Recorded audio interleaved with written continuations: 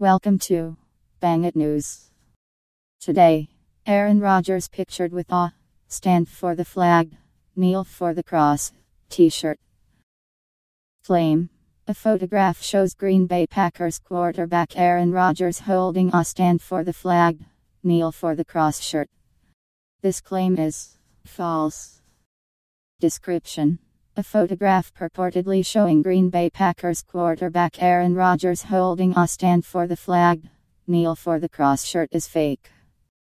Explanation An image purportedly showing Green Bay Packers quarterback Aaron Rodgers holding a stand for the flag, kneel for the cross shirt circulated online in September 2017 amidst the controversy over players kneeling. During the national anthem in protest of inequality and police brutality, this is not a genuine photograph of Aaron Rodgers. Both the pictured person's face and the t shirt design have been altered.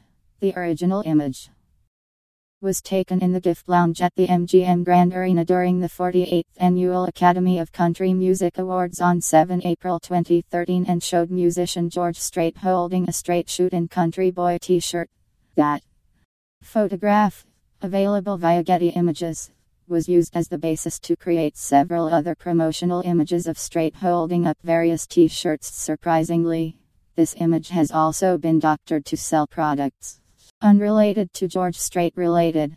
In addition to changing the t shirt design, some vendors also placed another person's face on Strait's body in order to sell a variety of merchandise. We found versions of this image featuring musician Willie Nelson, actor Kit Harington, President Donald Trump, and New England Patriots coach Bill Belichick doctoring an image to make it appear as if a celebrity is wearing or endorsing a clothing item is a common tactic amongst some t shirt vendors. The doctored image of comedian Bill Murray and author Hunter S.